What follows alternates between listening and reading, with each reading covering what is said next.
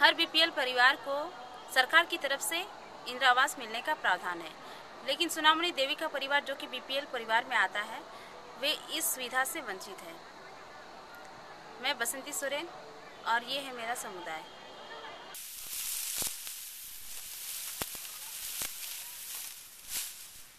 BPL card है ना तुम्हारे सब बनो तीन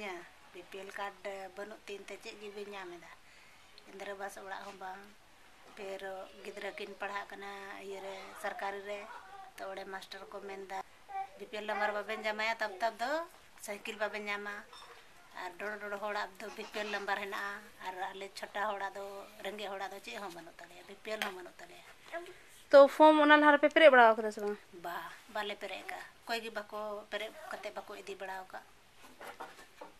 बीपीएल ताले तले का इंद्रबास होने नाम किया फिर गिदर को साइकिल को को नाम किया।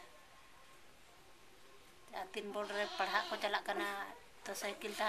नाम लिखा को अच्छा गीता है को संगीन पढ़ा करना पैदल हमको थका गिद्र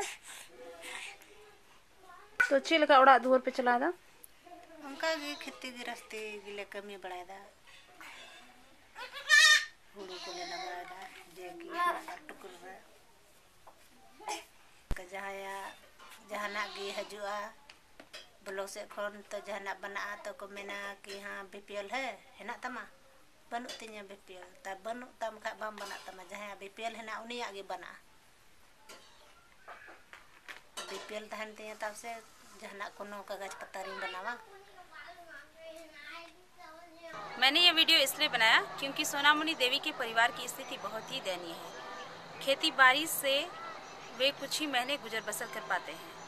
बाकी दिन वे मजदूरी करके अपना परिवार का भरण पोषण करते हैं। मैं आप सभी वीडियो देखने वालों से अपील करती हूँ कि प्रखंड विकास पदाधिकारी जय कुमार राम को उनके mobile number eight zero eight four three eight three four zero six पर कॉल कर दबाव बनाएँ, ताकि सोनामुनि देवी जैसे गाँव के अन्य चार परिवार को